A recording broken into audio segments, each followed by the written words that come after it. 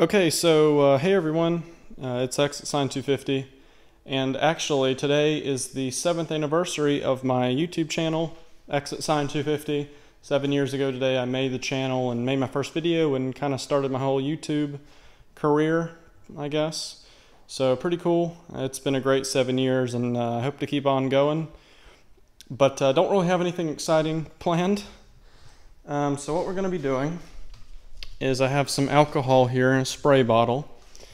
And I'm going to be, and since alcohol is flammable, I'm going to be spraying the number seven and lighting it on fire. And this is stupid, so don't do it.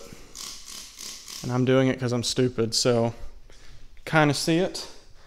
And uh, before we light it, I do have this Kidde kitchen fire extinguisher filled with water, so uh, that's good to have. Now here's the lighter, and uh, let's light it. Whoa. That's kind of lame. Well, you can kind of see it. Seven. So, because uh, I prefer my house not to burn down, we're going to go and put this out. And I guess I didn't tighten that piece. So that's nice. Um, there you go. That's, that's it. Seven years of Exit Sign 250. Uh, it's been great. I hope to keep on going, and I'll see you guys later.